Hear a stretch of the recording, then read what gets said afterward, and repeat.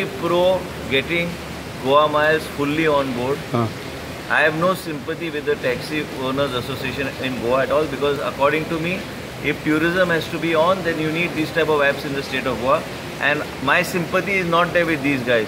These are hooligans. The way that they're abusing the Honorable Chief Minister and talking in their meeting, I have no sympathy and I, I only hope and pray that Dr. Pramod Sawant remains firm and sees that he opens up the door to uh, taxi agencies in the state of Goa so the tourists coming to the state of Goa, we have to survive. We are going through a recession and we need good economical service. It's cheaper to come to Goa but it's more expensive to drive from the airport to Leela.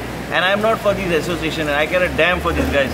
These guys are hoodlums. They're trying to blackmail the state of Goa. I only want that the chief minister should be very firm and act very firmly on these people. Why should he tolerate all this type of nonsense? This is nothing but blackmail. They'll destroy the tourism.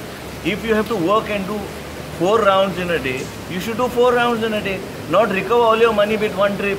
This is what these guys are doing. This is not acceptable. They can shout in my name, I don't care. But this taxi association of Goa was actually it was basically it was promoted by the politicians of the south. High time to break their backbone and throw them out.